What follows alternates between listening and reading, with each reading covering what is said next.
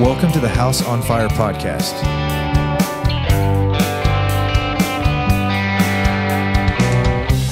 Our aim is to light a fire for Jesus in the homes of those who listen through encouragement and equipping.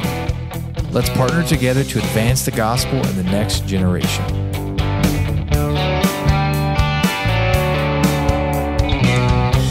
I am your host, Lucas Jackson, and I am passionate about seeing more people on fire for Jesus. When you listen to the House on Fire podcast, you'll hear from people you can rub shoulders with every week at Bethel Church because all of our guests are from our church family. These are people striving to love God, love others, and to serve the world. Hey guys, thanks for joining us on this episode. And today we have Jerry on with us. Jerry, thanks for being here, sir. You're welcome. I love it. I love it. Well, um, today we're going to talk um, all things money things specifically. And before we dive in, would love uh, to get to know you and your family a little bit. So tell us a little about yourself and your family. Um, well, I am married and I have one son so far. Been married for almost 14 years. I say almost because then I, I don't have to think about when ex- when was when's our anniversary? Yes, sir. Uh, so almost 14 years. Uh, we've known each other 15 years. So that was interesting how we met and got to know each other. That's a whole other podcast in itself. For sure. Um, uh, but long story short, we met at a Christian concert that I um, that was sponsored by Pizza Ranch. I was working at Pizza Ranch at the time. I Okay. was managing there. The one here in town? Uh, no, in Aberdeen, Okay. South Dakota. Yeah. And there was a concert coming through. I believe it was Lifelight, and at that time, Pizza Ranch corporate was a corporate sponsor of the whole Okay. Lifelight um, movement, and they asked me just to do the opening prayer. So it was su- super quick. Yeah. Opening prayer. Um, so there's two stories of how we met. There's the real story, and then Crystal will tell you the other story Yes, sir. I understand. how we met. Um, but uh, once we got to know each other, it was weird. We realized that we had crossed paths many times before Okay. and never realized it. Yeah. Um, so it's just interesting how God brings th- events and things together that I, I think there's things that he he definitely wants to happen, and then there's things that he would like to happen that we may or may not screw up sometimes. For sure. Yes, sir. and and uh, I, I think even the things that he definitely wants to happen, we we still have a responsibility to respond Hmm. to those things. Yeah. Um. But moving on to Michael. Michael's in seventh. No, excuse me, third grade. Seven years old, homeschooled. Yeah. Uh, Way too smart for his own good. he, he's too smart. He's too cute. He's just too active. He's just too too much of of all good things. Yeah. Yeah. That's Um, awesome. But he's uh seven years old, going on eighteen. He's pretty much ready to graduate. Okay. I'm, I'm pretty sure he uh, he enjoys school, but knows that he doesn't really want to be there like all day, every day. Yeah. So um, sometimes we use public school as a threat. Like if you don't listen, we're gonna send you to public school. no, don't make me go. Uh, but uh, uh, recently, I learned about uh, I because I, work at the uh, Boys and Girls Club Yeah. full time, and I have uh, get to have encounters with teens over there. And I recently learned that most of them have not been taught a, a lot of things that I thought everybody knew. Hmm. Like they they they were never taught how to read an analog clock. They have trouble with that. They they weren't taught how to count money. They were, have trouble with that. Uh, th- they weren't taught how to read or write in cursive. They have trouble with that. Um, cooking, cleaning, laundry, like basic life stuff. Yeah. We sometimes assume gets taught in school, but it's not. I mean, there's just so many things, and I think a lot of people would agree. There's so many things that were not taught in school that we actually need to know. It's almost like um, if if if the game of life was to chop down a tree if that was like our goal. School prepares us by handing us a butter knife and saying, "Go, go get him. Here you go. Go get him." Yeah. Um, so we, we we want to make sure that Michael is, is taught a lot of the things that we think are far more important than uh, reading, writing, and arithmetic. Yeah. And one of the things we think is more important than that is just building his character, who he is as a person, who he who he's growing into as a man. And part of that is how to interact with other people. So he's got Yeah. fantastic people skills, great people skills. Um, and he's not afraid of anything. He's got zero fear. Yeah, that's great. And I I've told this to a number of different people that when I grow up someday, I want to be just like him. It's awesome. and, and I think there's a lot of parents out there that that know that they're raising their children right.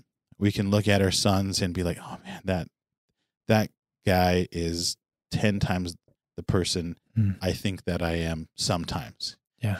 But we have this tendency to compare our compare our weaknesses to other people's strengths. We Mhm. we compare our low points to other people's high points.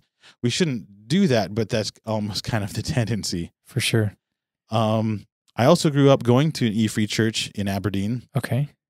Um, as far back as I can remember, uh, that that's just where we always went to church. Yeah. was was E Free Church. The um, the church in Aberdeen, as I understand it, was actually a church plant from Bethel. Oh. Uh, there was uh, a man named Larry Watnamo, I believe, helped to get that church plant going Okay. in Aberdeen with with a, a number of other gentlemen. I and I think that my dad was a part of that beginning process. Okay. As as I'm I'm told that when we first moved to Aberdeen, we were first going to a little Baptist church, and then this other church plant got started, and and my dad was invited to be a part of it. Most recently, he was the pastor for about twenty some years. Okay. Um, and when he when he accepted that position, it was okay, but I'm only going to do this Yes, sir. for a short time until you find somebody else. yes, sir. Um. So 20 years later, he he was still going at it, but he he recently stepped down from that position as well. And before my wife and I moved here, I was the pastor of that church for about a a year and a half, I think. Um, and and I stuck to my guns. I said I'm only going to do this less than two years. Yeah. Um, find find somebody I that at the time I f- felt like they should find somebody a little bit more qualified to do all of the other pastoral things outside of preaching because Yeah. I I think I could I could preach pretty well. I can preach a mean sermon, and I mean mean like hurtful, but uh but there's so many other duties that a pastor has to take care of that I would just eh, my my heart wasn't in those things. Yeah. Um, it could have been. I I think that uh, we use a lot of churchisms like uh, finding your calling, but I don't think that we stumble into a calling. It really gets developed over time, depending on our experiences and how we respond to those experiences. Hmm. Um, like and, and it's almost like the the more you learn about a subject any subject out there you the more you learn about it the more you become interested in it and then it's almost self-perpetuating Hmm. like I, you just get even more interested in it so i had to contemplate do i want to continue this being a pastor and i i, I came to the conclusion that i just there were other things that i wanted to do more Yeah. um could I have easily stayed? Yeah, I could have. I don't think it would have been a, a a wrong. I don't think it was a right or wrong type of decision. For sure. It was just like a Coke or Pepsi type of decision. What what do I what do you want more? Yeah. Um, I also grew up. Um, I think from age fourteen, I was involved with Child Evangelism Fellowship. Yeah. So I think that's where I learned most of my speaking skills and, and putting together a, a story, putting together a message. Um, reminds me of something John Maxwell said was never never never tell a story without making a point. Hmm. never make a point without telling a story. just kind of go hand in hand. And that was just kind of the way that we were taught in CEF of how to tell stories is there's got to be a point to this story. Not Yeah. and sometimes I still work on that and sometimes I tell a story with no point because I think it's funny and maybe that's the only point. For sure. Um And was that in Aberdeen as that well? that was all that was that was all in Aberdeen. Yep. okay. Um, my two older brothers, TJ and John, uh, also worked with CEF, and I think when each of them turned about 16, 17, they they moved on from CEF to working with Cooperstown Bible Camp. Okay. So I had opportunities every summer to volunteer for a week or two throughout the summers, and that was uh, tons of fun. I, Yeah. I enjoy being out there. It's it's it's a very unique place, and I think anybody that's uh, going to be listening to this podcast from Bethel, if you haven't been to Cooperstown Bible Camp, you don't know what it is. You got to check it out. There, Yeah. It's a very unique. It's a it's a, it's a calm, godly place, and the thing that I like about it most is the the, the whole thing. Almost every second of every day is surrounded around uh, opportunities for for learning and and reading Yeah. scripture. Um, and it but it wasn't until the year before I got married that I actually served full time on that staff. And that is another completely different experience. You Yeah. know, volunteering for a week, that's cool. Yeah. Working for a whole summer, that was really cool. It it was really challenging, but grow I grew a ton Yeah. also during that summer. It, it's almost like when we are required to prepare for a thing and we're studying that thing it's almost like uh, like let's take scripture for example i was in a position where i had to be able to teach from scripture so i had to study it even more Yeah. and had i not had that opportunity to teach i, I don't think i would have been studying quite as much Mm. um, similar to getting ready for this podcast. I, I thought I was ready. I, I, I, uh, okay, I got some things, and then last minute, I was like, oh, this is going to be good too. This, this here's, here's a good scripture. So it, it's crazy how much scripture talks about money has a lot to say about Yeah. how we make money, how we spend money, um, possessions, uh, our attitudes towards it, and, and I think that there's, uh, um, oh, what's it? There's a statistic out there. It's something like there's some two thousand some verses that that talk about money and possessions. Um, there there's, I think it, about five times as much in the Gospels alone, five times as much about money than any other topic in, in those gospels. Yeah. yeah. There's uh, a little over 2,000 uh, Bible verses about money and possessions. Yeah. Yeah, yeah, it, it's a lot. So I think um, God thinks it's pretty important Yeah. for us to know. Um, anyway, moving on. So I I actually grew up with four brothers, two two older and two younger. So I was right in the middle. Um, in I think about when I was ten, we adopted my cousin's daughter just as a baby. So she became our sister. Hmm. And it's interesting in in the native culture how I never knew or even heard the term second cousin. I don't know what that is. I, I even now I couldn't really explain that I- concept to you. I understand. I couldn't either. Yeah. Um, it's just it's just cousins. Um, I also I the first time I heard the concept, um, great aunt was after I got married. Yeah. So it was like my wife and I almost came from two completely different universes, different cultures. Even though we both grew up in Aberdeen, South Dakota, Yeah. different different family structures. Um, it, it- it's wild. So we so we started getting to know each other, and, and knowing how we related to our relatives. It, it's in in native culture, and I think in a lot of other tribal cultures, it really the way we think about family brings the circle closer. Hmm. Like how close can we get that circle? Yeah. So my uh, my dad's brothers obviously are going to be my uncles.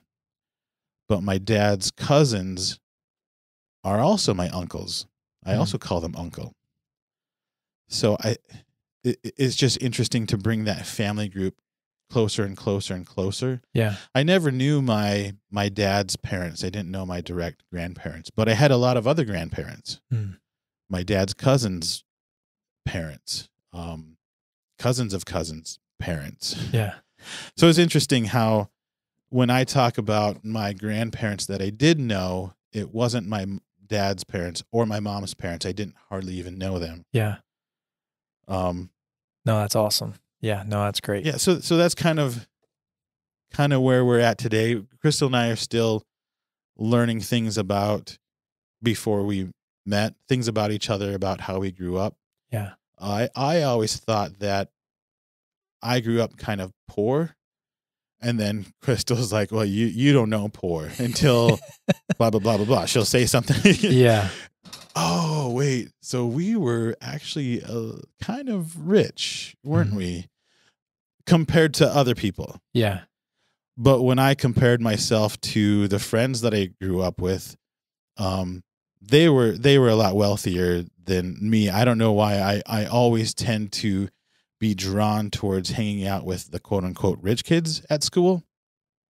Maybe it's because they had all the cool toys. I don't know. Yeah. Or because they were the only child, so they had all the toys. Mhm. I, I don't know what it is, but um I would go back home and not realize that uh, that my dad actually did kind of make relatively a lot of money compared to a lot of our friends, and Mm. especially compared to my wife, how how she grew up.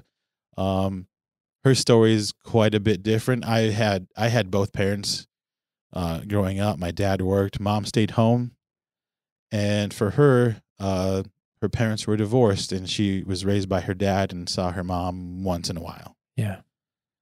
Um, so so th- those those caused some challenges in marriage as well. Um, just uh, again, just adding to the the stark differences in the ways we were brought up. For sure. Um, y- your next que- oh oh okay. oh this is a fun story. So uh, a, a perfect example. So my one of my uncles, my uh, my mom's brother, one of her brothers, was coming through Fargo one day and called me up and said, "Hey, I want to take you out to lunch." And I said, "Okay, sure. Where do you want to go?" We we we made the plans. And then I told Crystal, so my uncle's going to be in town in a couple days. He wants to take me out to lunch. She goes, Oh, can we come with? I said, Oh, I, I guess I didn't even ask. I'll call him back. Yeah. I call him back. Hey, uncle, can Crystal and Michael come? Sure. Okay. Uh, so the day arrives and we're sitting at, uh, where'd we go? We went to Red Lobster. We're sitting there.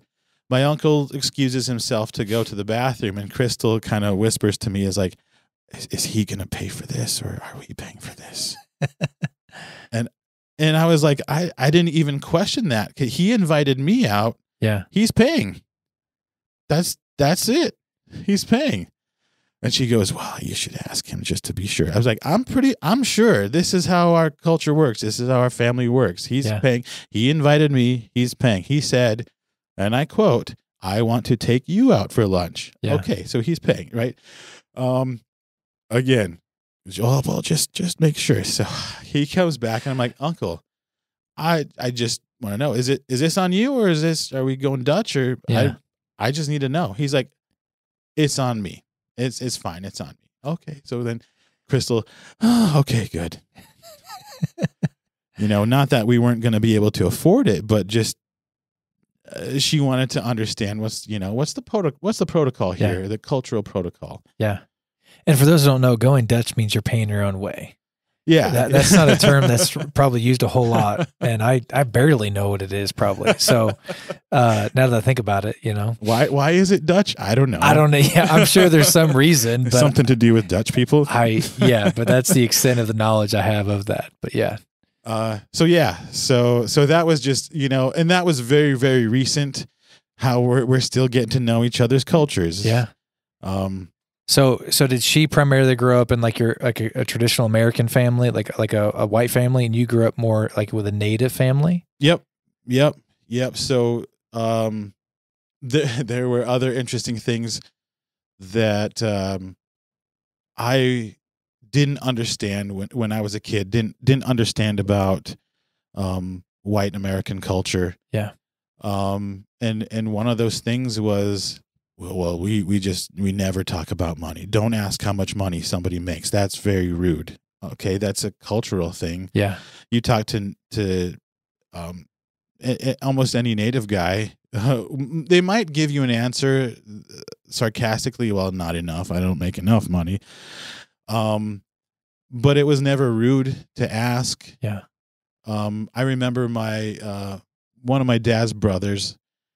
Uh, we called him the rich uncle, but he was single, and he was working for the government, so he didn't have a family to support. Yeah, so he when he would come visit he would buy us things. He Yeah. would he would help support us or take us out to to lunch or whatever. Um and i just remember we never really asked how much money a person made but we weren't really afraid to talk about it either. Hmm. I he helped me that uncle helped me learn a lesson about tipping. I didn't even know what a tip was. Hmm. we he took us out to to uh, dinner one time that's supper took us out all out to supper and he left some money on the table and we all got up and left and i'm one of the last people to get up from the table and i look down and i'm like oh he left some money here. I, I better grab this and give it back to him. I, he dropped this is my thought Yeah. so i grab it I go out to him and I'm like, Uncle, Uncle, I got your money. You left this on the table. And he's like, Hey, put that back. That's a tip for the waitress. So yeah, I went back in, and by that time, the table was already being cleared and the waitress was already grabbing some stuff. And so I had to hand it directly to her. Yeah. I was embarrassed, but I was like, I'm. I'm sorry. I, I didn't know that this was for you. Here you go. I was probably five or six at the time. yeah, So I learned about tipping. for sure. Um, yeah. So, it's, but there's a lot of interesting cultural things I think about money that that just get passed on and passed on and and, and almost never questioned Hmm. whether or not these things are just cultural like as in there's no right or wrong in this situation Yeah, or is this biblical like we ought to do a thing a certain way Yeah.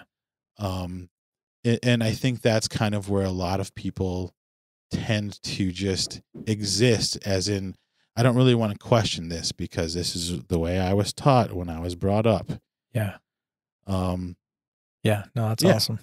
What worship service do you and your family normally attend, and which campus? Uh so we normally attend here at bethel and during the school year normally the 9 a.m service Yeah. so we can take michael to the uh kids church Yeah. Every once in a while we'll sleep in a little bit come to the later service Yeah. um we back back home in aberdeen we started going to a church called the journey and and their their setup is very different from a lot of other churches. You go you go into most churches, you're going to find either rows of pews or rows of chairs or whatever. This place was set up kind of like a coffee shop. There were tables Yeah. everywhere, very much like our our um I don't what do- Solid grounds area. Yeah, the, but like the worship the space. narthex. Yeah, I don't even know. I don't even know what that means. That the, the the the great hall, the hall outside the uh, oh, sanctuary. sorry, uh, the FLC, the old worship space. Well, well, that too, but yeah, the solid grounds area. That's Okay. that's usually where we sit. Okay. Also, um, because we we kind of got used to that, but also it's it's for me to accommodate. I got my Bible. I got my notepad. I Yeah. got my. It, it's hard to do some of those things because when when I come to church service, I think of it as coming to school. I would prefer desks everywhere, you know, because I'm I'm here to learn. Although, um, really, what what I've learned over the past few years of attending many, many, many conferences, I'm I'm probably going to take away one or two things. So really, I just need to write down one or two things, but I never know what those one or two things are that I'm going to retain. So I Yeah. I take a lot of notes. Yeah. Um, also, I doodle and and get distracted. I love it. also, um, I, I'm I'm tall. When I sit in in the sanctuary, depending on where we sit, my knees hit the chair in front of me, Yeah. and I'm like, oh, that's that hurts. Um, so it, it's nice to be able to spread out, but yeah. So we come to the 9 a.m. service. Uh, in the summer, obviously, there's one service. We come to the 10 o'clock, and then uh, Michael sits out. We we recently found uh, there's an app that we were able to get on our iPad for him that was developed by Child Evangelism Fellowship. Okay. So then we have him do that during during church service. So he Awesome. sit he sits there with his ear, earbuds in and does his little uh, kids church thing on the Yeah. iPad, and while while we listen to adult church. Yeah. No, that's awesome. That's awesome. When did you become a believer? That would be in second grade, and uh, so I remember this specifically. Um, I had gotten into. It, it, it's weird. I you don't know how many little scuffles that second graders really get into. um and, and, until you like work in childcare or, or something like that but yeah they uh they, they can get a little ornery Yeah. and I was one of those. Um, so I got into a lot of little scuffles, but I think it was um, they were uh, a couple of them were like legit fights, Okay. like like hitting and kicking, bloody noses. It, they were just all out brawls, right? Yeah. and um a, a lot of times it would be um other kids just wanting to provo- provoke me for I have no idea what reason Mm. um but I think it was like uh it's probably more like a prison yard type reason like I got to take down the the biggest and the strongest kid cuz I was always one of the the bigger kids Yeah. growing up. Um, so I, I don't know. Was it was it part of that? It could have been. Um, but I remember it was probably but like third or fourth time I got into a fight with some of the same kids, and I I could only guess that each time my mom had probably taken me aside, and each time had probably um, shared the gospel with me at, at each of those opportunities. Um, I, I never really registered any of it beforehand, but but Yeah. this but this last time, um, it, it- it really just resonated with me, and I was like, wait, I I suddenly I it's like your conscience comes alive, right? So Yeah. suddenly I'm like I I didn't really feel bad before for what I had done. I mostly just felt bad for getting caught. Hmm. Like Yeah. I, I know I shouldn't do that because I don't want the consequences. Uh, where suddenly it was like I I know I shouldn't do that because I know it's wrong now, and and I want to change. How do I do that? Um, and and my mom just shared a really really simple, stripped down, um, not watered down, but stripped down and easy for me to understand. Was just you know you here's the wrong things that you're doing and here's what the bible calls that. The bible calls that sin. Yeah. here's what happens when we sin. Here's the consequences but here's the option. Here's here's what we can do about that. Yeah. and um when it when it was presented and and and I think that we sometimes continue to present a very uh simple gospel to people because that's exactly where they're at Hmm. they're they're at this I I need this simple explanation of where I'm at and what can I do about that um and and if they have that desire f- to actually follow through then now, you know, now that I'm older, I understand that that's because God put that desire in me at that time to make a pro- proclamation and and to repent. Yeah. And it it, it had I, I could almost say it had nothing to do with the fighting necessarily, but I knew suddenly I wanted to be a better person. Mm. And and I wanted suddenly I wanted to to make my parents proud. Suddenly I wanted to um make God happy. And it, it it's interesting and, and I think that experience is what led me down the road to join um, Child Evangelism Fellowship when I was 14, knowing that children can be evangelized, knowing that children can come c- to Christ at at a lot of different ages. Oh yeah. Um, and so that that's what kind of drove me in in ministry. It was that that experience that I went through. Yeah. Um, although growing and learning and studying, I came to learn that uh, we we shouldn't just base our decisions and beliefs on our personal experiences, but in this case, it, it certainly helped shape uh, shape the direction of my life from that point on. Yeah. And if I remember correctly, uh, that like even uh, liberal theology is based more off personal experience and not on the authoritative word of God. Oh yeah, You know, and yeah, so absolutely. and not to say that experiences aren't a you know we can't throw them all out you know but but god's word and the authority of that is, should dictate more of what we believe than our experiences but i, I agree with you because even a lot of times when people share their testimonies a lot of their story is more about their experience which i understand in the context they're sharing their Mhm, life and that mhm. kind of stuff but it's but it's uh, god's word that does the changing Yeah, know? when when I on that note, when I uh, worked at Cooperstown Bible Camp, um, we we had to write out our our come to Jesus story. Yeah. right. In, in, in churchisms, we call that our testimony. Although now, I think our testimony is more like what's God doing in your life now, right now. But like, Yeah. what's your conversion story?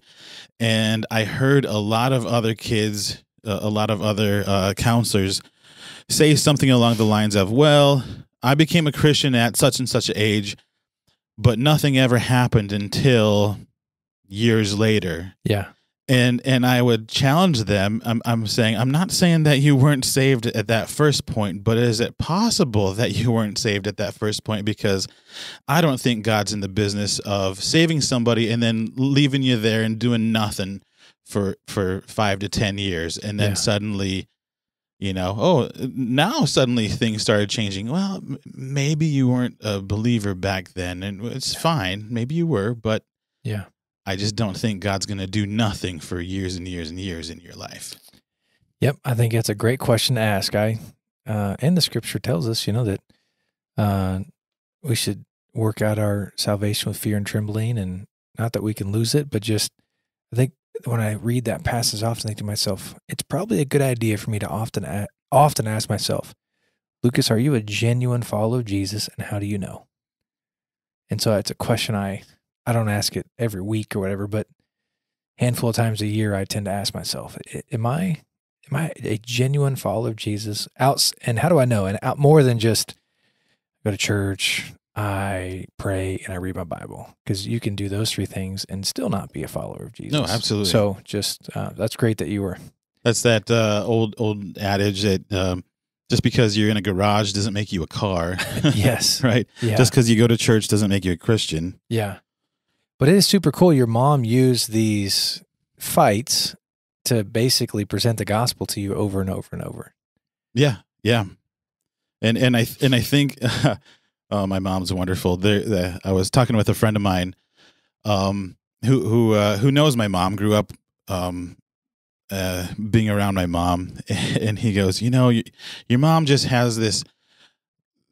It- I, I, I, what, what did he say? I, I saw her in Walmart the other day, and we started talking, and suddenly, I have no idea how we got on the topic, but suddenly we're just talking about talking about the Bible and talking about um, what do you say? We're, we're talking about the end times and and and Jesus' return, and I'm like, I don't know how she just guides conversation to that direction like Yeah. all the time, and and that's really what she did. What she did and what she continues to do is just all her conversations just always end up leaning towards biblical topics. Yeah. Praise And- God, man. That is what a gift. Yeah, I mean, it, it really is. It's a it's a a skill I've I've uh, worked to to hone and, and develop in, in my own life and my own conversations. I, I'm Yeah. still working to get better at that. Um, but but I had a, a really great uh, example of of being able to do that with my mom, and then uh, also with my dad, who who uh, was a pastor for many many many years. Yeah. No, that's awesome. That's awesome. Well, let's kind of get into the topic of things here, talking about money specifically. And so, um, what does it look like to honor God and how we make money? Uh, so I was uh, thinking about this for for quite some time, and uh, I think a short answer is if uh, if if what you're doing doesn't violate God's laws or man laws, it's not immoral, it's it's not unethical. Yeah. Um, do it. Yeah. Um, but but I think it, there's there should be more thought put into it than that. But I think a lot of people end up making that decision uh, backwards. They they go about it in a little bit different way than what they ought to. And I think this happens in in a lot of decisions that we make in life. People Yeah. will will make that decision backwards. And what I mean by that is they'll they'll confuse the decision making process with the problem solving process. They'll try to solve all the problems first and then try to make a decision Hmm.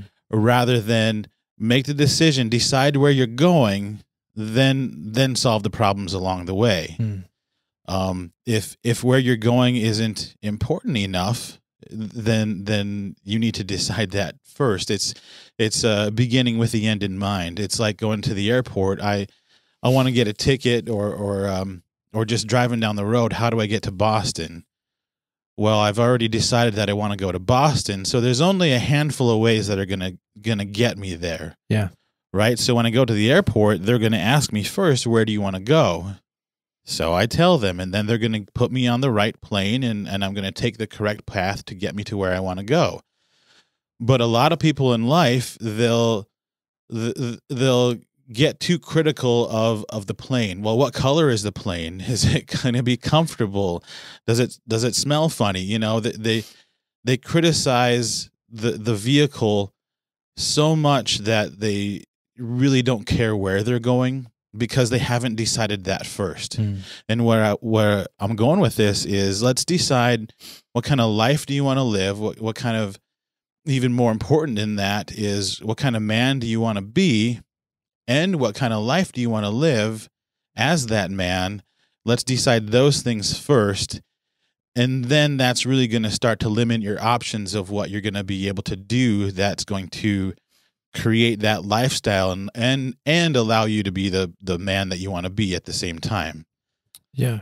Wh- What does that look like for you in your life? I'm curious, like, and you know, you don't have to go on all the details, but what what are some of the values or things that you know that you have kind of stated? Like, here's kind of what what we'd like to do in our lives, or, or our lives to be about, and here's kind of, um, yeah, some of the things that have dictated that for you. Um, I guess a, a really easy answer to that would be what what do you normally do on a Tuesday?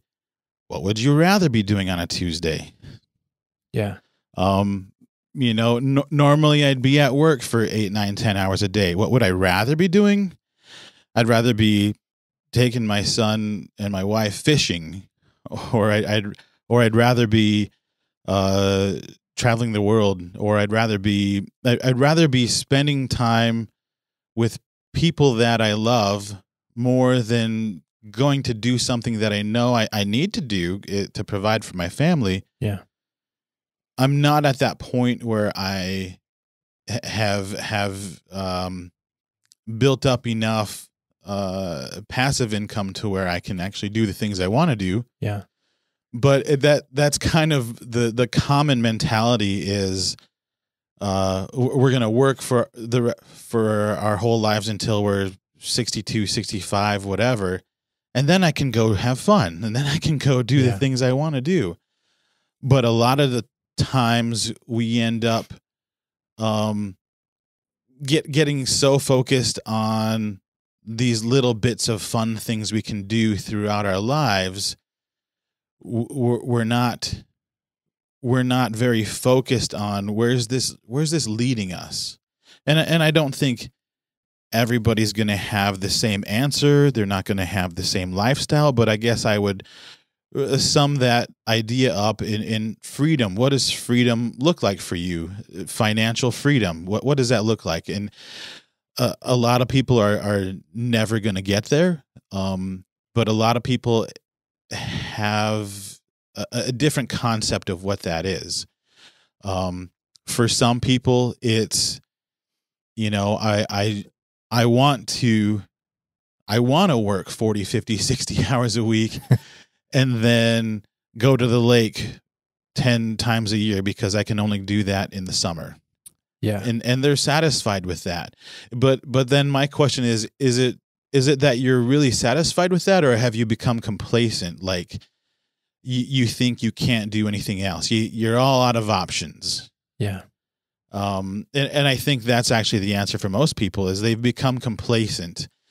Uh it's in which is a, a fine line between I, I I think christians like to use the word contentment but what they really mean is complacency. They, they Mhm. we've we've just gotten to a point where we no longer have any wants or desires because sometimes we've been told that you shouldn't have those wants and desires. You should be content with what you have. Well, that's that's different. Am I content? Yes, I'm I'm happy where I'm at. If if if I never achieved or or um had anything more in my life than what I have now, I would still be happy. So it's not about happiness, happy, Yeah. happy, happy.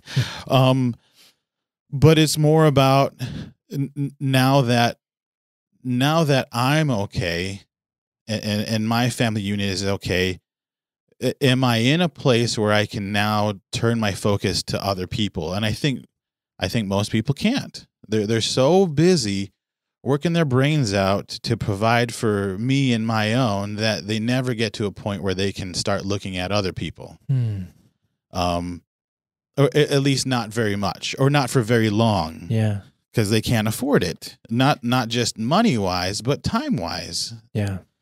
um And man, it yeah, that's so true. And it I've I've observed in life over the last four or five years more so than ever that those that I that I know really, really well, they were willing and able to give me the time it took for that relationship to develop.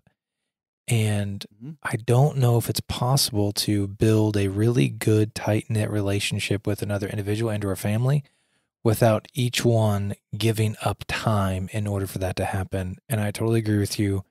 There are many people who can't. That they just for for whatever decisions, you know, the way they built their schedule, financial reasons, whatever it is. And I and I don't think Mhm. it's just those who have who who are just married with kids that that I mean you could be single or a young single person or even, you know, a 50, 60 year old single person or even, you know, you have a family. It doesn't really matter what stage of life I think that you're in. It looks differently.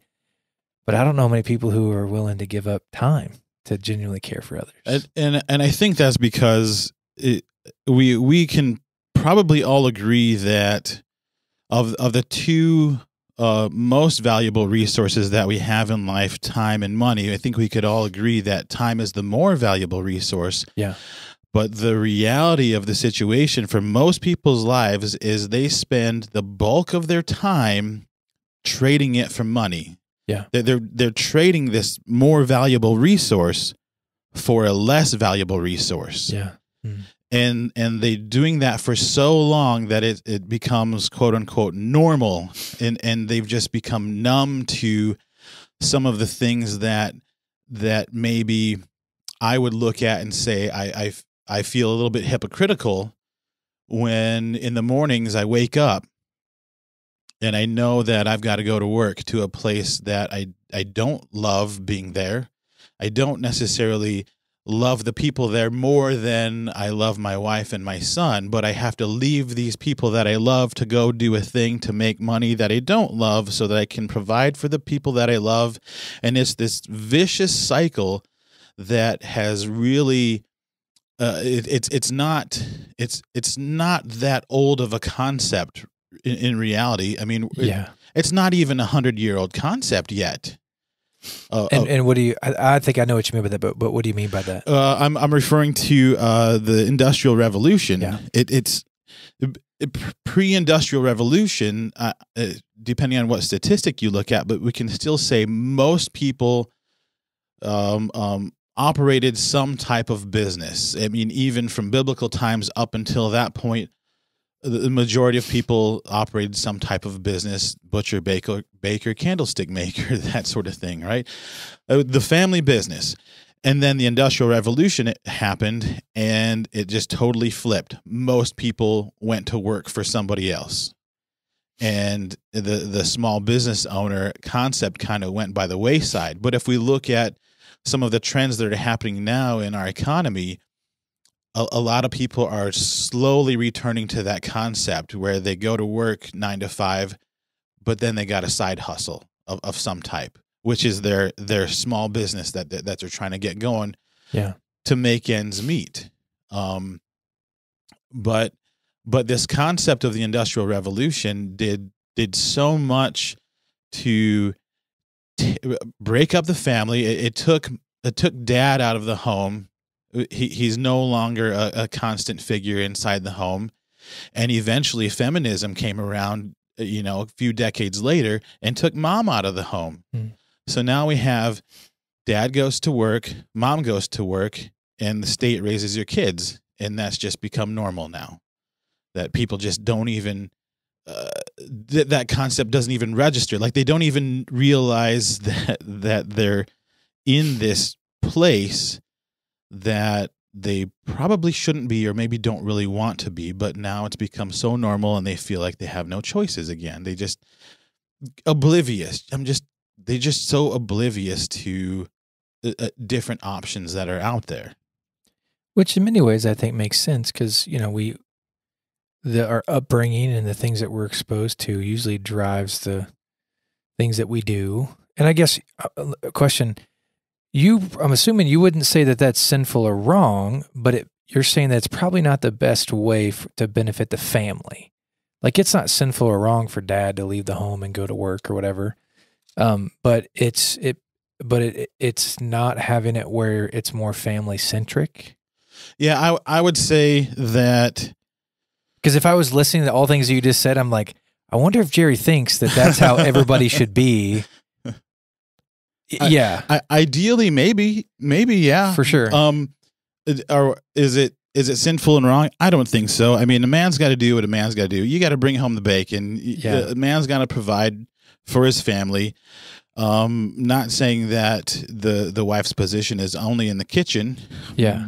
but she should probably not be working outside of the home because there's so much work that needs to be done in the home, not just the house and the cleaning, but but Yeah. there there are so many other things. Uh, I'll say my, my wife is a stay at home mom, and it's probably the hardest job she's ever had. Um, she's also homeschooling, E- even if our son was going to public school. There are still a, a lot of things that uh, that she does to take care of the home, keep keep this home running. Yeah. Um, that I don't have time for because I'm stuck at work. Yeah. making money. Yeah. Um, I I I think that when we are not exposed to or don't know that there are options out there to get us out of this cycle, we almost have an excuse. like like th- there's a little bit of excuse is the excuse me that you're um uh you, you're just ignorant Mm. right you, you're just ignorant of things that are out there to change the situation that you're in but once you're exposed to it eh, or once you come across some type of way to get out of it now i think you have you have an obligation suddenly you don't have an an excuse anymore for why you're spending 40, 50, 60 hours a week away from the people that you love, chasing after money that you definitely don't love, but you need it to Yeah. to to pay for stuff. I think that um uh, you know the the most important things in life are not money, but the most important things in life cost money. It's just our reality. Yeah. We got to pay for stuff. Yeah. Um, but that most important thing is, I think, time. So coming back to that again, how do we use our money to buy back our time? Is kind of what a lot of people are trying to do. Yeah. Um, but a lot of people don't know how to do that. They they just they just Google it, right? Thinking that they're going to stumble across this this ancient secret of, of how to do this. But the reality is, the only way it's ever been done is through having the right relationships with the right type of people who are already doing those things, who have already gotten there. They've already got the fruit on the tree. And and hopefully they have the the time, the patience, and the vehicle to show you how to do the same thing. Yeah, no, that's good. And it, what makes me think too, like as we're looking at just the question of just how to honor God in the way we make money, um, is there, you know, even just purchasing items? I've had well-intentioned believers who would make statements like, "I'm not going to go shop at Target because they support, you know, LGBTQ things or uh, abortion, that that that kind of stuff." Um, and I'm uh, I, I'm going to uphold the biblical value of a, a man and a woman, and and that's how God has created us. I'm, I I do believe that um, abortion would be a sinful thing. Um, God is gracious and and merciful, and and genuine repentance. The Lord will provide that. Um, but I'm not I'm not in the camp where I don't know if I have the time to look up all the things that a company believes before I choose to get gas there. I don't know if that would be wor- worthy of my time.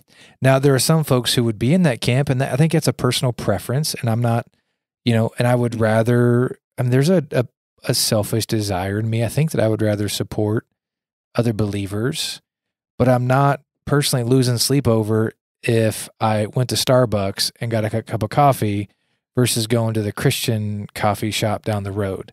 Um, what would you kind of? I know I'm going off kilter here a little bit, but I'd appreciate your thoughts on even and I and I understand I think that's a good question, though. Bring, brings up a good question. Um, because some of those people work for those places too, you Yeah. know. So there's a tie there, and just yeah, Um, uh, that's oh man, that that really brings up uh, a a good story. Um, I I got to think of where it is.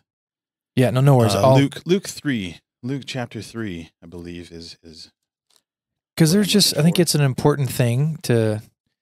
Now, do I think if you you're a barista at and I should make this claim I know nothing about what Starbucks really believes um, as a company and their values or tar. I mean, I guess Target. You know, there's a lot of companies who've gone the direction of very supportive of of LGBTQ stuff, but um, I think that is something that many believers wrestle with. And okay, is it biblically appropriate or what's most honoring to the Lord? Is it can I should I continue working for a company that may may or may not support that kind of stuff? So I I think if we take a look at um take a look in in Luke, we could all agree that the uh, the the Roman government at that time that was ruling the this particular part of the world was very corrupt. the The entire system is corrupt, right? Yeah. Um, and within that system, you may have uh people that work for the government Hmm. uh, tax collectors, soldiers, Yeah. that that come come to be believers. Yeah. they they become Christians. And uh, here, here's what Jesus has to say to that. Wait, what chapter of Luke are you in? We're in Luke chapter three. Okay. And uh, we, we let's start in. Um, well, let's just start at verse seven. Uh, John said to the crowds coming out to be baptized by him, "You brood of vipers, who warned you to flee from the coming wrath? Produce fruit in keeping with repentance, and do not begin to say to yourselves." We have Abraham as our father, for I tell you that out of these stones God can raise up children for Abraham. The axe is already at the root of the trees, and every tree that does not produce good fruit will be cut down and thrown into the fire. Um, so that's kind of kind of a little bit of warning, kind of sets up. Here, here's what's going to happen to the to the bad trees, right? Yeah. What should we do then? The crowd asked, and John answered, "The man with two tunics should share with him who has none." So he, he he's taking a, making a little bit of commentary ab- about wealthy people. You've got two tunics. You you have more than you need. What should I do with the extra that I don't need? It says, "Give give to the man who has none, and to the one who has food should do the same." Tax collectors also came to be baptized. Teacher, they asked, what should we do? Don't collect any more than you are required to, he told them. Okay, just if you're going to be a tax collector, be a good tax collector. Yeah. Yeah. Don't don't don't do these bad things. Yeah. All right. Don't take more than you're supposed to. But- and because that was pretty common for tax collectors at that time Yeah. to that that was that was their main temptation and and that's what kind of they were known for that was their it, it was easy at that time for a tax collector to just i'm just it just it's just a little bit Yeah. you know and i only did it once Yeah. right that that might have been their excuse then some soldiers asked him and what should we do he replied don't extort money and don't accuse people falsely be Mhm. content with your pay Mm.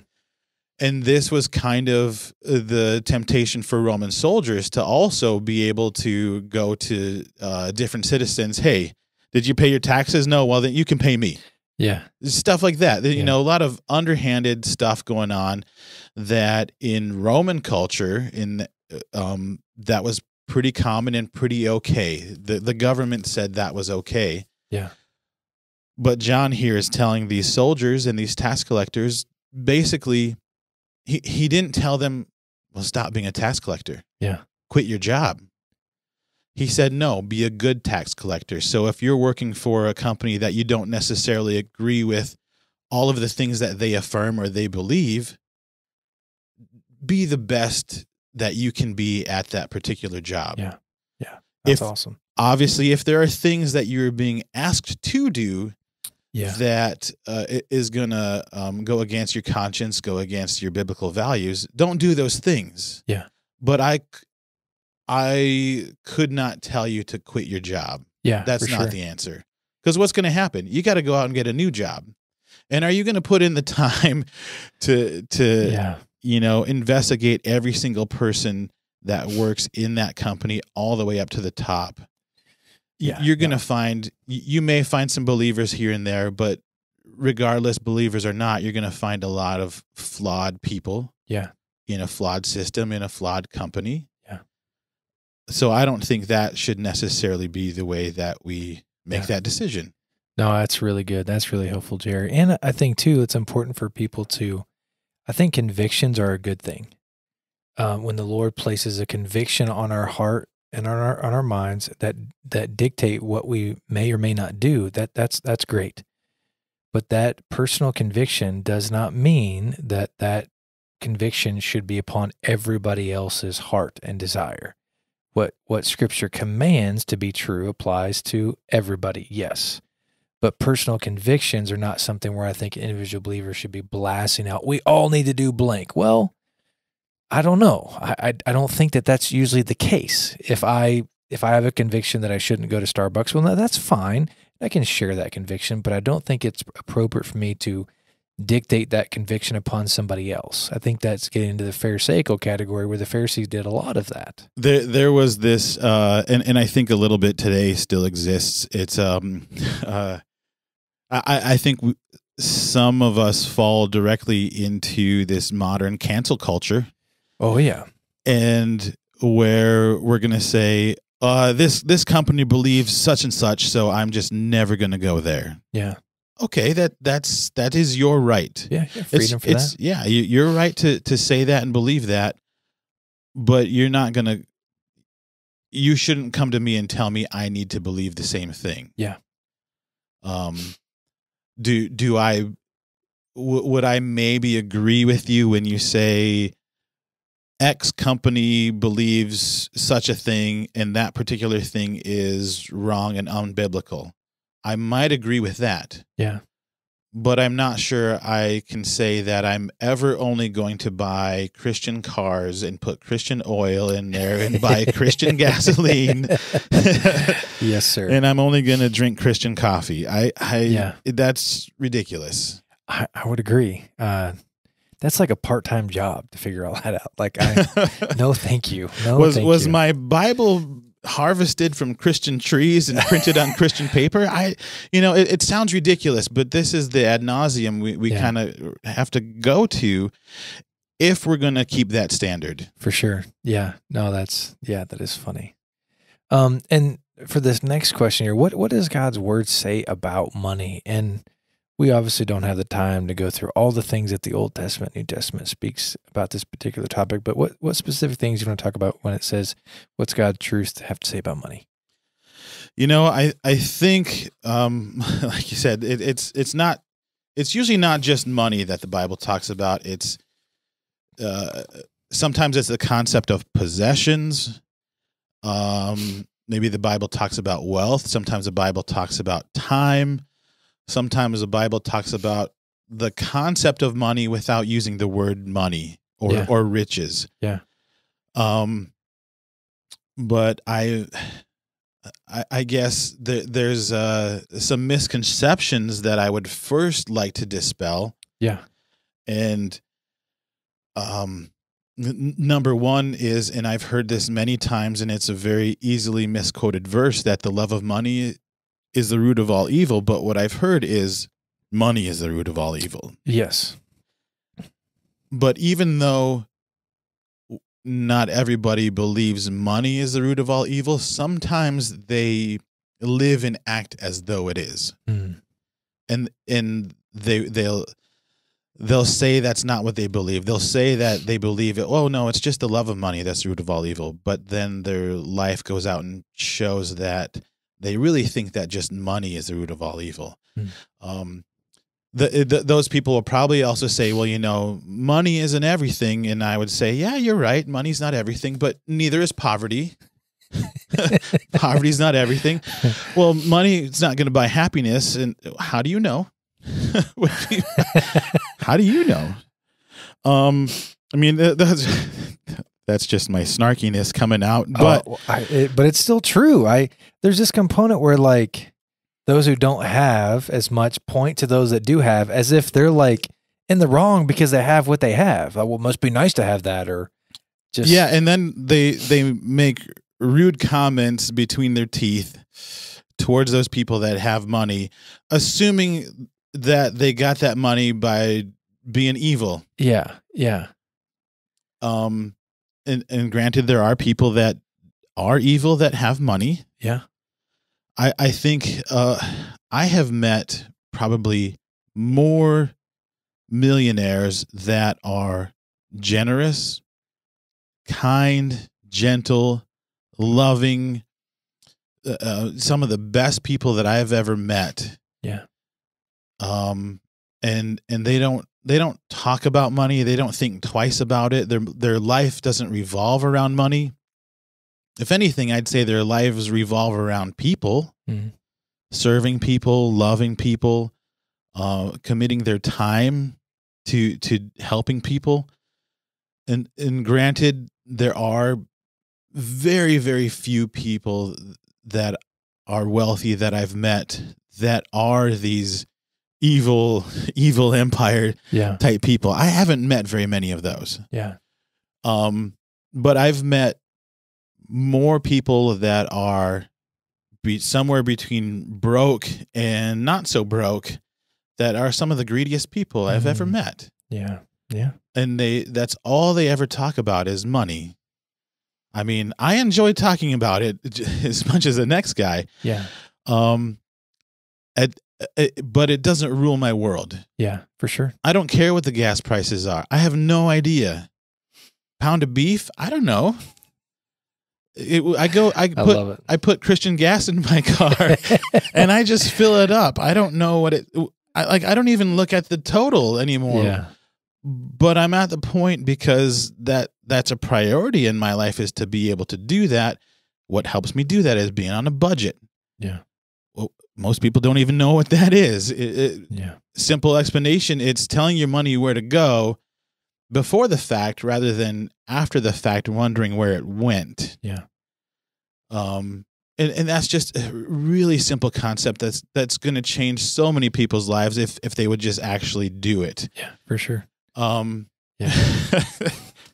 What other christian uh, gas Well, I, in my mind, um, I was thinking to myself, well, the reason mine's Christian gas is because I'm probably praying at the time that I'm putting it in.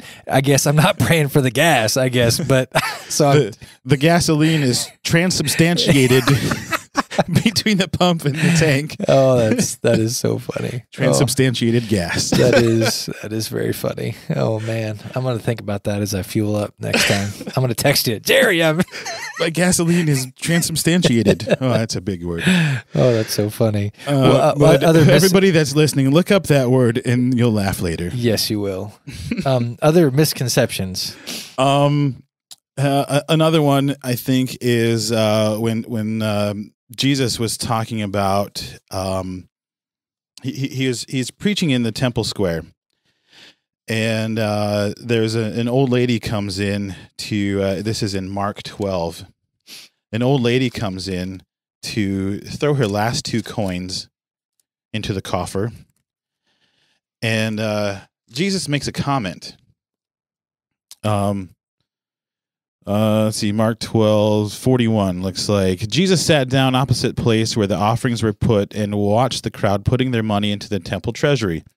Many rich people threw in large amounts, but a poor widow came and put in two very small copper coins, worth only a fraction of a penny. Calling his disciples to him, Jesus said, I tell you the truth. This poor widow has put more into the treasury than all the others. They gave out of their wealth, but she, out of her poverty, put in everything, all she had to live on. And then that's the end. That's the end of it. Yeah. He doesn't go on to say she did a good thing, or they, he doesn't even say they did a bad thing.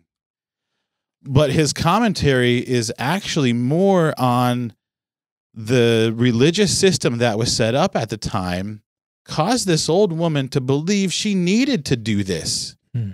that she needed to to put her money in this offering uh, in, in in order to basically buy favor with God.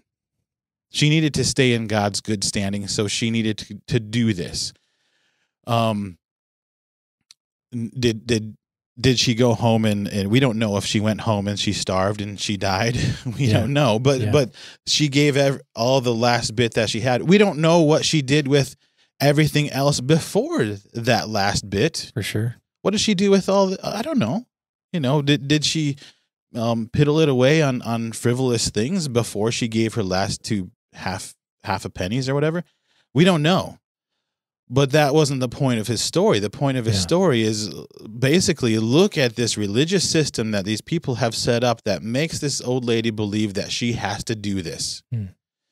And that kind of gets us into uh, another thing that we were going to talk about next time, but that kind of gets us down the road of well, but isn't she required to to give to the church? Well, under the old Mosaic law, yes. Under the new covenant, no. Um, but she didn't know that. Hmm. Right? The, the the religious system at the time was also the government system.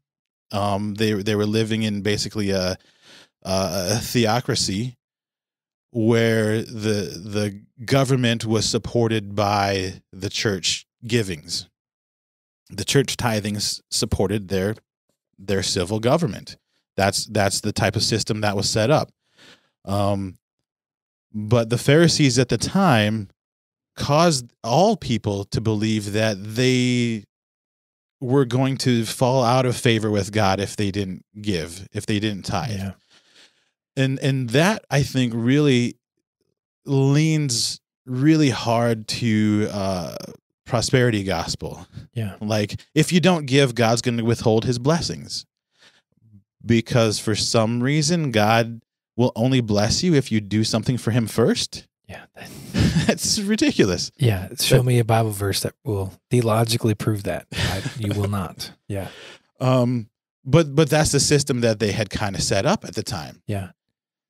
Well, it makes me think too. You know, I don't know the exact time frame, but um, when you know the uh, the Catholic Church started indulgences and Oh yeah. you know later on Yep. you know and and how other guys like Luther and Calvin Zwingli there's another guy in there I can't think of where they were like okay there, we need to we need to get the church back to being about the authority of God's word and not about indulgences and that kind of stuff that were really rampant at you know particular parts of, of church history Yeah, and, And I, so- I think those those were born out of how do I stay in God's favor without actually being obedient to God's Mhm. word? Mm. Well, give give us money. Yeah. Yeah. And so I mean obviously that's that's looking ahead in history a little bit, but just nonetheless it but even the the New Testament worship that was taking place in the Jewish culture, they were still relying heavily on the Old Testament covenant, which makes sense. They're reverting back to that which they have known, mm-hmm, you know, and obviously the, um, there's fulfillment of much of that in the Old Testament, not all, but much of that that we have in the New Testament. And so there are some things that, that we as New Testament believers are not commanded to follow as the Old Testament had at one point. Yeah, yeah. And so, not to say that that's not still applicable and helpful for our lives because it is. Um, but there are just some things that are no longer commanded because they've been fulfilled in Christ. Yeah, I was just going to say that's the best description is that we don't throw out the old covenant, but we know that in Jesus Christ it was fulfilled. Yeah. And and in so many ways I've been reminded this last couple of months as I've been doing a, a theology of worship grad class that if you want to understand the New Testament, you need to understand the Old Testament. Oh yeah. Like it's just they go so much hand in hand.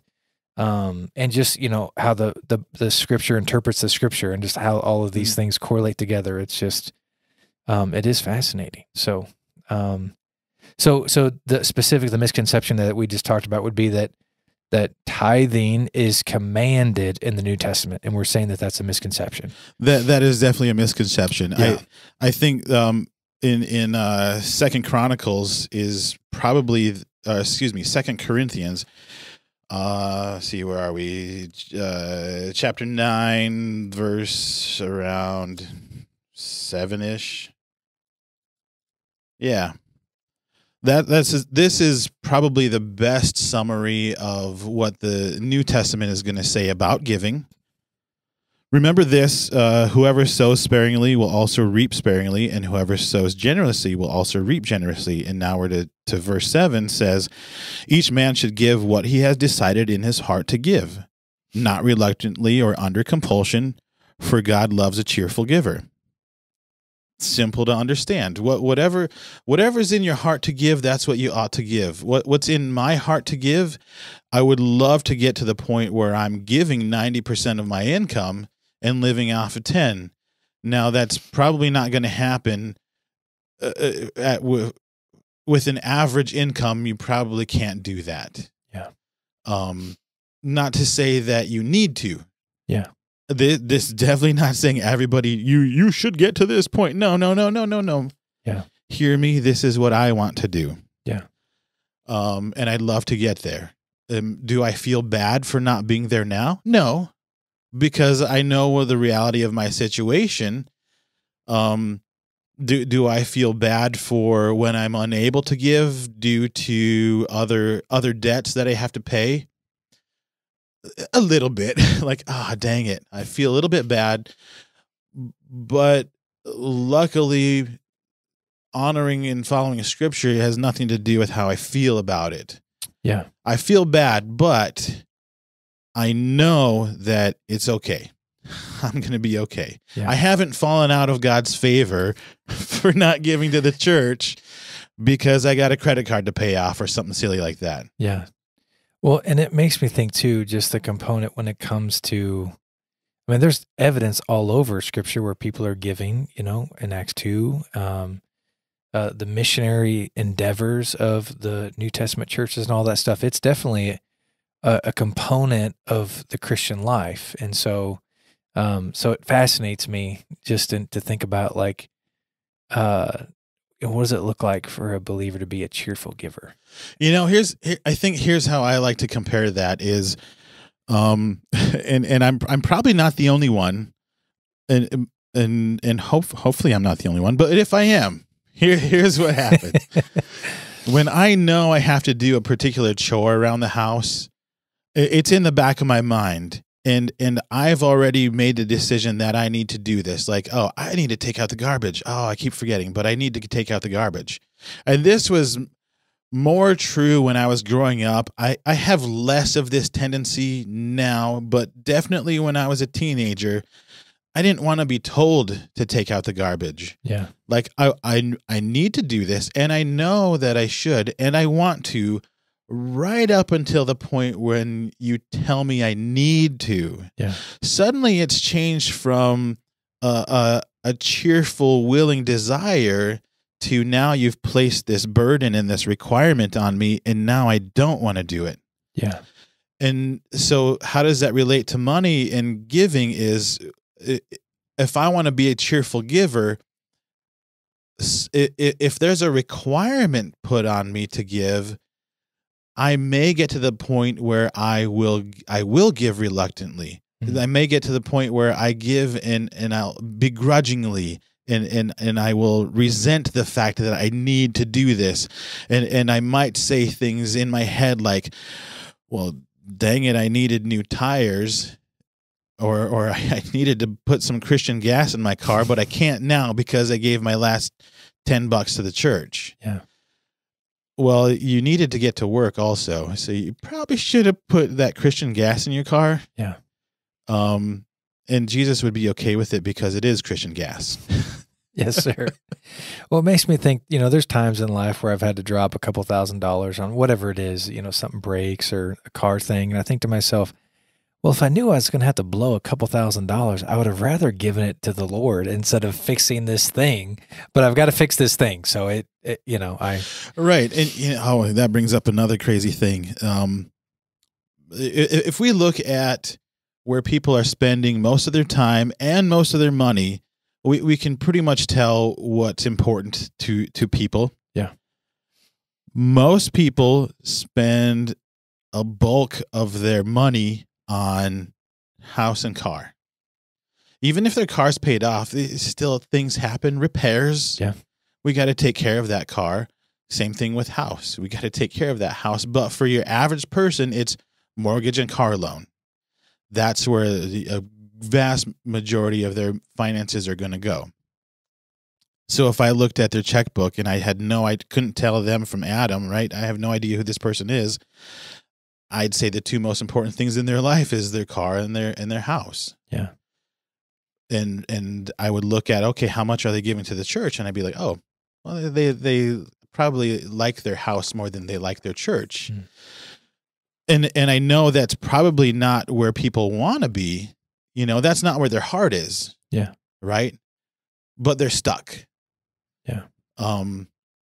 And and and some people get to the point where they've been stuck for so long that they just throw up their hands and say, "Oh well, it's just how it is." Common mid midwestern midwestern thing. It is what it is, right? Yeah. Oh, it just is what it is. Um, and and to me, that's that's that person saying, "Well, I don't really believe anymore that God can help me out of this situation." Yeah. So I give up. Yeah. And they're not saying that, but there's a good chance. But they're that, doing that. But, but, they're doing that. Yeah, I, I agree. Well, to to wrap up our time here, we got kind of two questions that are intertwined here, and then um, we'll have a couple more opportunities in the future here where we're going to do a couple other episodes. But does God hate debt, and is being in debt a sinful thing? I, you know, I I would say There, there's two uh, two camps.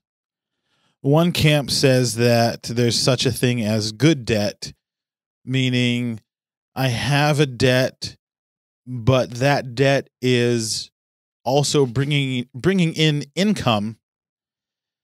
So then it's a good debt. It's paying itself off somehow, yeah. right? Some some people would say that's a good debt. Um, and and our banking system would also say, well, that's not really a debt because it's it's a secure debt, meaning that you have a thing. Let's just take a house for most people. You have a house. The banking system would say that that's not necessarily a debt because if you don't because you're going to pay it one way or another. Either you're going to give me money or you're going to give me the house. I'm I'm you know, Yeah. I'm the bank and I'm going to get mine either way. Yeah. Um, but what does God say about debt? Um, I I think I think the Bible is a little bit more strict on on what debt actually is. Um, but but a lot more simple. Simple understanding is debt is money that you owe somebody else. You you owe somebody else some money, and in that and in that simple definition, I would say that a mortgage is debt. You owe Yeah. somebody else some money. Yeah. If you want to keep your house, if you want to keep living there, you owe money to somebody else. Um, and, and oh man, this this could go down a whole other rabbit hole. I mean, we already touched on the Industrial Revolution, but that kind of change did change a lot of things for for our whole country. Uh, around that time, before that time, a, a, a man bringing in a let's just say a family because it was more of a family endeavor, but a family bringing in a single income could easily uh, buy a house with with cash and, and and buy a car in cash. Nowadays, you'd be hard pressed to find anybody who can do either of those two things Yeah. Or wants to, because Yeah. because the cars that you can buy in cash you don't want. Yeah. Because I don't I don't want a project every week. Right, you know? right. Uh, uh, uh, it's a funny thing. The the the the cars you can't afford, you don't want. The cars you want, you can't afford. Yeah. um, but so we we we could then go one of two ways. We could say, well, it is what it is. That's just how we have to live, right? That we Yeah. could easily take that attitude because everybody else does it. And because it's normal, that makes it okay. We could have that attitude. Or Yeah. we could say, you know what? Because I believe God hates debt and I want to stay out of debt, I got to do one of two things. Either I get myself to a point where maybe I'm already in a situation, like I'm already in debt, I'm already there. What do I do now?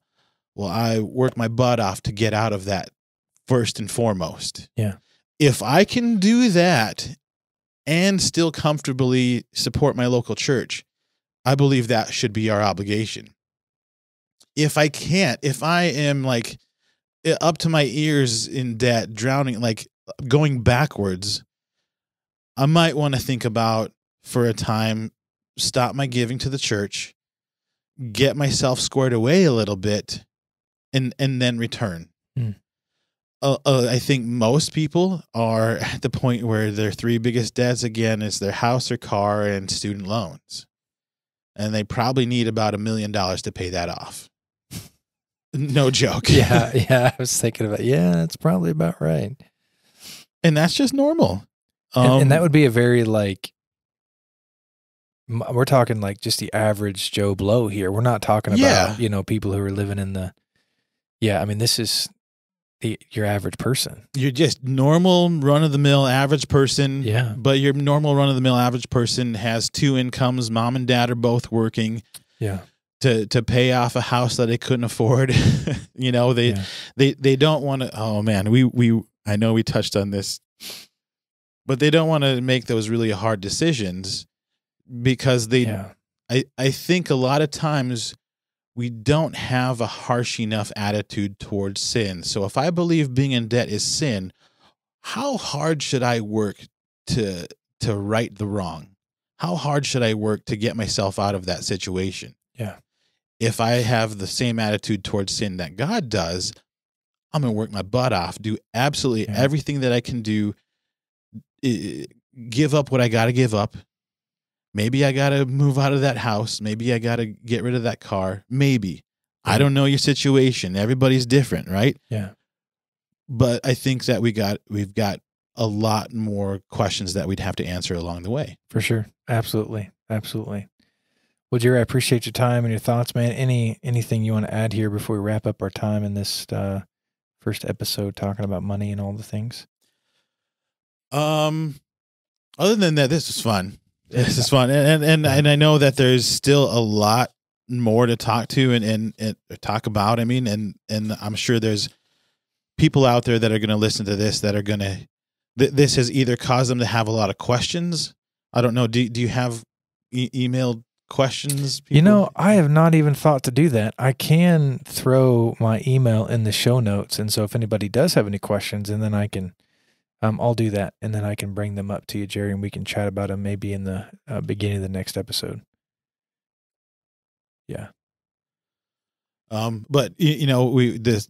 I guess my last comment would be: I, I read a statistic the other day that um, your average American, the average Gen Zer, has said for them for them to be happy in their current lifestyle, they they need about one point two million dollars in in the bank, and I, I think that's fair.